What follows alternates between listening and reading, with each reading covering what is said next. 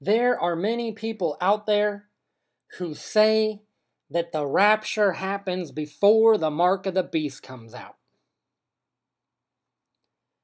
But I say, according to Revelation chapter 14, starting in verse 6, the next major event in history is going to be the sixth seal of Revelation, which is Babylon the Great Falls, and it is a nuclear attack, a worldwide nuclear strike.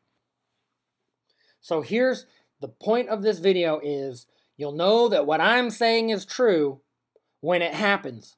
Now, if the rapture happens first, then what I'm saying is false and we'll all be taken out before any of this stuff happens. But if what the Bible says is true, and if Revelation chapter 14 is God's word, then according to that, the next event is Babylon the Great Falls, which is the sixth seal of Revelation chapter 6, verse 12. It is a nuclear attack.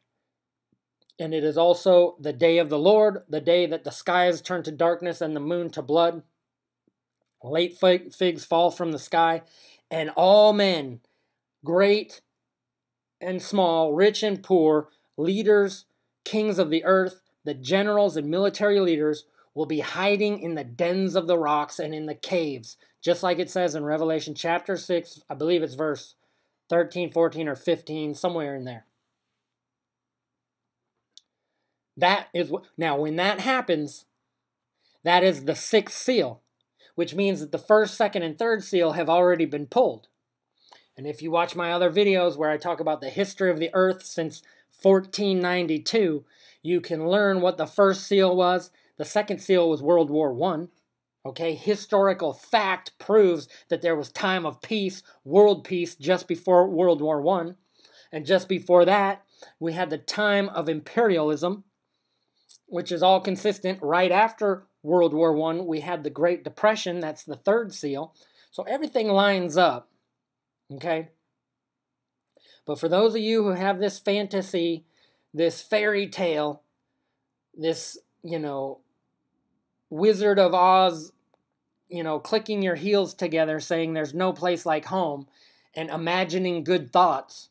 And then you're going to say that the rapture happens and North American Christians are never going to have to go through any kind of trial, unlike any of the Christians anywhere in the world throughout history. You look at the Christians in North Korea, China, and the Middle East, and all over the world, they're all persecuted. You look at the Christians throughout history, all the different great persecutions. Box, Fox's Book of Martyrs is like that thick. And yet the Christians in North America insist that God, basically, they're trying to force God, God, you have to rapture us out. But God says, no, I'm going to leave you there to prove that who has genuine faith and who does not. And the Bible says that those who are lukewarm, you who are lukewarm, are going to vomit you up.